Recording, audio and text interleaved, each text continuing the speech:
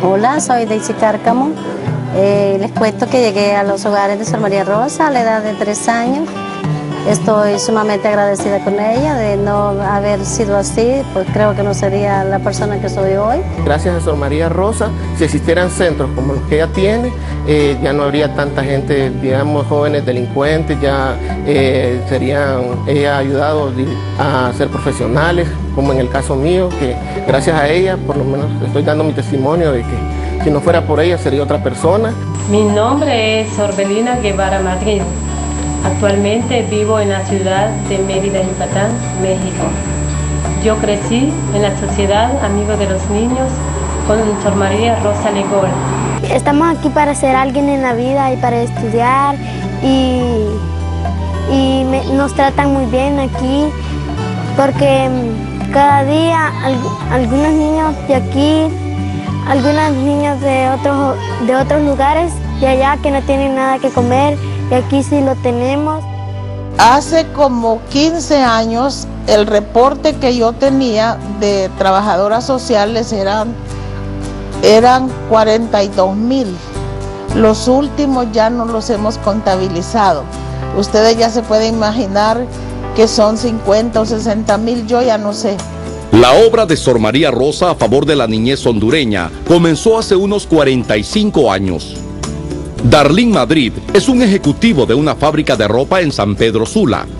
Para mí es como una madre, ¿verdad? Ya que ella fue la persona que me acogió cuando yo perdí mis padres y me dieron una formación que hoy, pues, por hoy me siento agradecido con ella, ¿verdad? Lo que yo soy se lo debo a ella, primeramente, por ese don que tiene de servir a los demás. Casi 50 mil menores en riesgo social han sido atendidos. Porque si yo no hubiera existido Sor María Rosa, mi vida sería sin rumbo y sin dirección, ¿verdad? Porque soy conocedora de Cristo también y con fe he salido adelante y por ella aprendí yo a, estudiar, me desarrollé en el, el mundo, a salir adelante. Marvin Emilio López es propietario de una imprenta llegó a los hogares de Sor María Rosa a los dos años de edad al morir sus padres. Realmente, si no hubiera estado donde Sor María Rosa, eh, mi vida hubiera sido diferente. Este, realmente que lo mejor que me puede haber pasado es haber llegado ahí, haber crecido con ella, haber eh, recibido el amor que nos dieron ahí, la educación, este, el, el, contacto con ella fue muy bueno, siempre nos estuvo dando buenos consejos, que esos consejos realmente nos han servido para la vida. Abogado de profesión, músico y paramédico, Gerardo Rodríguez dirige la organización Brigadas Globales. Y yo pude crecer, tuve la dicha de crecer, de tenerla ella como madre, de crecer con un montón de hermanos y hermanas y ser exitoso en la vida gracias al, al ejemplo y a la educación que ella nos brindó. En San Lorenzo Valle, Carlos Espinosa es jefe de planta de una terminal de LPG y lubricantes. Ocho años de estar en la en la cuarta petrolera más grande del mundo, la Total Gas Francia, es una empresa francesa. Y hasta el momento pues le doy gracias a Dios, se, formalizaron mis hermanos, tengo mi familia, Cinco técnicos especializados en el extranjero en órtesis y prótesis, también beneficiados por la sociedad Amigos de los Niños, trabajan en un laboratorio del Hospital San Felipe. Orgullosamente nos creamos en los hogares de SOR. Yo llegué desde que tenía nueve años, igual mis compañeros desde muy pequeños han estado ahí. Gracias a Dios tuvimos la dicha de reunirnos, de capacitarnos profesionalmente. En la colonia Miraflores funcionan los hogares Pedro Atala, donde miles de menores han sido atendidos. Nuestros niños reciben una orientación integral, ellos reciben alimentación, salud, educación, eh, la formación espiritual y tienen dos madres que los cuidan, que son como madres sustitutas, no son empleadas domésticas, son madres sustitutas. El proyecto Reyes Sirene Valenzuela ofrece educación integral a jóvenes trabajadoras domésticas. Se gradúan de bachilleres en ciencias y letras, de bachilleres en administración de empresas. Eso les abre a ellas un gran campo laboral Hace seis años, en la comunidad de Nuevo Paraíso Moroselí El Paraíso, la Sociedad Amigos de los Niños ofrece educación prebásica a más de 60 menores, hijos de madres solteras. Tuvimos madres solteras aquí y se presentó el problema. ¿Quién atiende a los niños mientras las madres trabajan? Entonces yo me responsabilicé.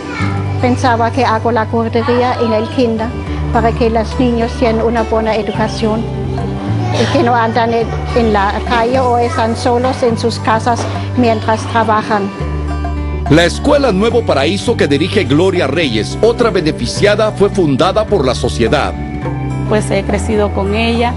Eh, fui a, a, la escuela, estuve en la normal, me gradué muy satisfactoriamente eh, eh, de maestra. Después he trabajado con ella desde muy temprana edad. Muchos que crecieron en los hogares de Sor María Rosa son parte del personal docente en los diferentes centros educativos. A la edad de siete años yo llegué a la Sociedad Amigo de los Niños, perteneciente a Sor María Rosa. Eh, mis padres murieron, llegué con mis hermanos. Allí tuve la oportunidad de graduarme en maestra de educación primaria y ahora a partir de entonces yo, después de graduarme, seguí trabajando con siempre con Sor María. Se ofrece además formación técnica y vocacional en el Instituto Polivalente Nuevo Paraíso. Que me siento muy feliz de estar aquí porque, bueno, puedo estudiar y todo gracias a la ayuda de Sor María Rosa. El instituto cuenta con unos 700 estudiantes. Eh, ahí me crié, ahí me educaron, eh, tuve una familia adoptiva que nos dio todo, amor, eh, nos enseñaron religión, eh, también oh, talleres, saqué corte y confección y me gradué en la Universidad Pedagógica en el área de salud y nutrición. Licenciada en informática, Rosa María Paz se integró a los cinco años de edad a los programas de la sociedad. Bueno, con SOR tuvimos oportunidad de estudiar, tuvimos de profesionalizarnos. Ya en la edad adulta, eh, hace 16 años, ya me vine para acá al proyecto. Eh, empecé trabajando en el proyecto con ella ahí y ya después, cuando ya terminé mi profesionalización, pues me quedé trabajando ya aquí en el colegio. El programa Flor Azul atiende a jóvenes de escasos recursos económicos de las zonas rurales del país. Aquí se les brinda la educación formal que el gobierno exige y también la no formal, como en talleres de carpintería, sastrería, computación, eh, agricultura sobre todo, se les enseña eh, lo básico, tratamos de que el joven se sienta como en casa. Aquí también funcionan los hogares Nuevo Paraíso, donde unos 114 menores son atendidos. Vienen de diferentes partes del país, eh, cada quien pues con su situación muy particular, pero lo importante es que ellos están aquí porque sabemos que estos niños necesitan este apoyo para que el día de mañana sean los hombres y mujeres de nuestro país que van a dar, van a servir mucho a, al país. Los pequeños crecen en un ambiente familiar. Yo vivo acá por maltrato de mis padres eh, me siento muy feliz ahora de estar aquí en un nuevo paraíso. Este proyecto empecé a venir a los cuatro años y ahora tengo 15 años. Uh, tengo una madre soltera, tengo tres hermanas, estoy en primer curso y me, y me gusta estar mucho en este proyecto. La Clínica Santa Rosa de Lima, ubicada en el kilómetro 55 carretera a la villa de San Francisco, atendía a más de 200 personas a diario, antes de 2009. Ahora, muy pocos la visitan. Bueno, básicamente mucha afluencia de pacientes que se ha perdido, pues por falta de recursos económicos dentro de la clínica, ¿verdad? No tenemos tanto presupuesto para compra de medicamentos, para pago de personal. Básicamente tenemos un personal sumamente escaso. Eh, yo estoy como único médico ahorita en la clínica, cubriendo emergencias, cubriendo consultas, prácticamente eh, todo el día, todos los días. La falta de recursos económicos obligó al cierre de varios proyectos. Eh, nosotros hace tres años empezamos, a te, teníamos pollos, cerdos, y unos pequeños cultivos así para sostenimiento de los mismos proyectos. Pero hace tres años, eso teníamos hace tres años, ahora no tenemos nada. Solo están las puras galeras esperando porque no, no hay financiamiento para poder continuar con la labor que queremos nosotros. darle la alimentación del mismo proyecto que salga para los mismos proyectos de la, de la sociedad. Carlos René Cáceres llegó a los hogares a los cuatro años de edad. Ahora es administrador de la sociedad. Entonces, Sociedad Amigo de los Niños para esta labor eh, tiene un presupuesto general anual de 48 millones de lempiras. De estos, 28 millones son recibidos de eh, forma de donación por padrinazgos o por instituciones internacionales. 5.4 millones son recibidos de parte del gobierno a través de, de la Secretaría de, Población y, y Extranjería. Y eh, pues lo demás lo tenemos en déficit ahorita, que es lo que estamos viendo, a ver cómo podemos cubrirlo. Muchos proyectos corren el riesgo de clausurarse. Llegamos a tener 500 casas a nivel nacional, pero eso usted quiere decir, tenés 3.000 y más niños en la mano, ¿verdad? Porque como queríamos dar la forma de hogares, después de Mitch, claro, me quedé sin la producción y solo con la deuda, que yo pagaba mi deuda y volvía a sembrar y así hacía. Empezaron a venir los grupos, los grupos de, de, americanos y canadienses y todo, entonces nosotros teníamos casa y comida para ellos, los atendíamos y ellos atendían todas las aldeas, en lo que fuera. Ellos nos pagaban por eso. Pero cuando vino el problema político aquí, entonces dejaron de venir los americanos se cerró la maquila que estaba aquí al lado, que eran 800 jóvenes que trabajaban y seguían estudiando. Yo presté esta, esta institución a la maquila con tal de que le dieran trabajo a jóvenes que pudieran seguir estudiando. Y ahí estuvieron 800 jóvenes trabajando. Se cerró de un día para otro por lo político. Se requiere apoyo financiero inmediato. Es un símbolo del amor hondureño y yo creo que hay que ayudarle.